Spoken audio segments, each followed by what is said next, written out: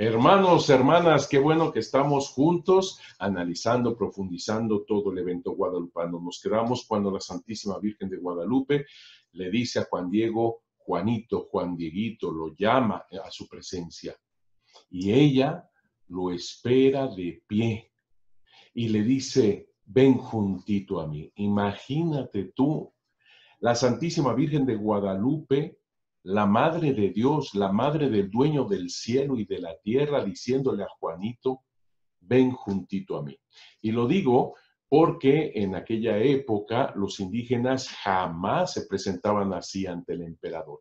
Y digo el emperador porque para Juan Diego fue muy fácil identificar que ella era una emperatriz.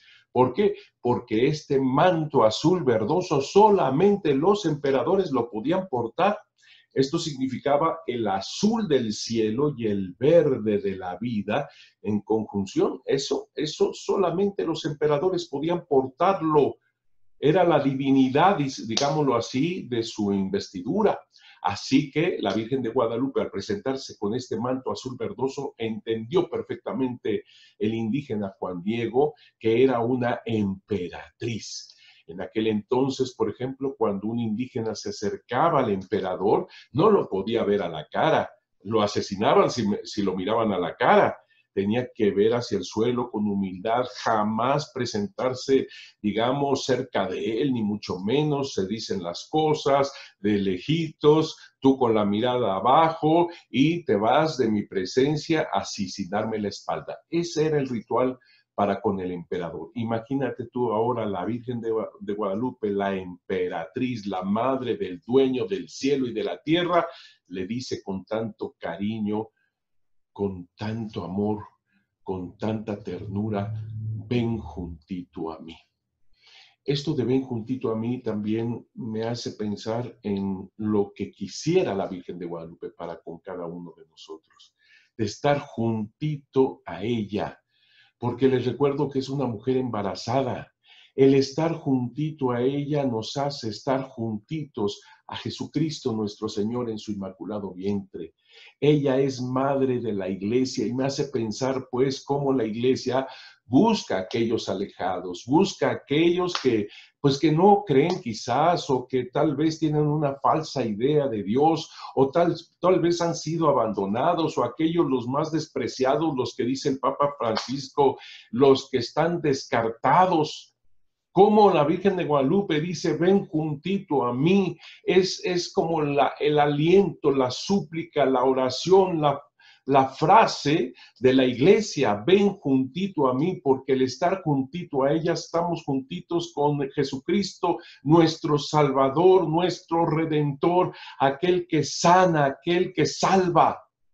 Ven juntito a mí, es una frase muy profunda y, y, con esa particularidad de amor, ternura, cariño, y si se conjunta todo, Juanito, Juan Dieguito, ven juntito a mí, esperándolo ella de pie, es una cosa eh, verdaderamente bellísima.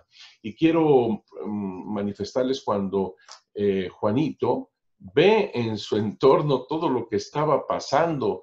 Fíjate tú, por ejemplo, aquí te, te paso esta, estos versículos de 16 al 21 Fíjate cómo dice, y cuando llegó Juan Diego frente a ella, mucho le maravilló cómo sobrepasaba toda admirable perfección y grandeza. Su vestido como el sol resplandecía. Así brillaba. Y las piedras y rocas sobre las que estaba como que lanzaban Rayos como de jades preciosos, como joyas relucían, como resplandores del arco iris en la niebla reverberaba la tierra, y los mezquites y los nopales y las demás variadas hierbitas que allí se puede, que allí se suelen dar, parecían como plumajes de quetzal, como turquesas, aparecía su follaje, su tronco, sus espinas, sus espinitas relucían como el oro. Qué manera de manifestar por parte de Juan Diego todo lo que estaba contemplando y vean por favor cómo es toda una mentalidad indígena al hablar, por ejemplo, de joyas preciosas como jades. Para los europeos el jade no es, no es particularmente precioso, para los indígenas lo es. ¿Por qué? Porque toda piedra verde, como el jade, toda piedra verde recuerda la vida. Por eso es tan importante también las esmeraldas, las turquesas, los jades, no se diga, pues aquí como los menciona. Y eso de mencionar que las, los mezquites, nopales y demás, ¿verdad? Eh, parecían plumajes de quetzal. Si esto hubiera sido un invento europeo, jamás, te lo garantizo, jamás hubieran puesto como cosa preciosa plumas. Jamás. Los indígenas, estas plumas de quetzal eran lo más valioso. Volvemos al verde azuloso, azul verdoso que tienen las plumas de quetzal, recordando lo que acabo de decir. Solamente es eh, eh, lo más valioso para los indígenas. Esto no es un invento misionero, no, hubieran dicho rubíes, diamantes, etcétera, etcétera.